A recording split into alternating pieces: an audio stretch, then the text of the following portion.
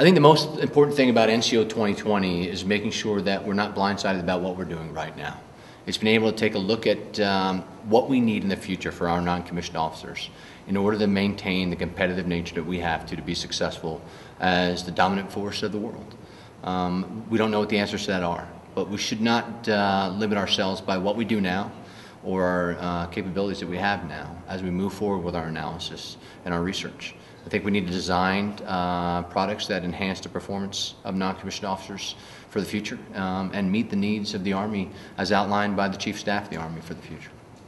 I think that one of the major changes we're going to see is how, well, really there's a lot of, few, lot of changes. The who, what, when, where, why, and how is what we're, so who we training? Um, we know who our audience is. We have a good idea. But what we really want to do is how do we train them? When do we train them with regards to when they're trained in their careers? Where do we train them? So is that in an institutional environment? Do we train them better in the organization? Or do we train them better through self-development domains? Or is it a combination of all three and a, a critical balance of all three? And then how do we train them? How do we deliver that training to our maximum capability at each one of those levels through each domain? I would say that I, I believe it's critical that, um, that we make this a part of uh, the NCO Corps.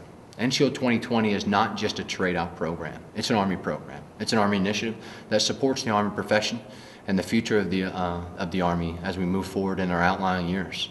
It's critical that uh, every component of the Army is represented, the National Guard, the Reserve, and the active duty, as well as uh, the Forces Command um, and AMC and the ASCCs. So I think that uh, this entire Army program that gets at a larger professional development system that enhances the performance of our non-commissioned officers for the future. Even though the survey has, uh, we've terminated the survey, there had to be a deadline so we can start uh, compilation of the data. But non-commissioned officers still can still use their chain of command, the TRADOC website, or the NCO Corner, which is posted on the CAC website, and links are there from the Army website as well as AKO, to provide input on what they think they need for non-commissioned officer professional development in the future. So the time's not up just because the survey's over. Um, actually, it's ongoing, and we expect it to be. Um, we intend to do surveys uh, in the future um, just like this to continue to enhance and find, uh, and find what we need to do to enhance the performance of our NCOs.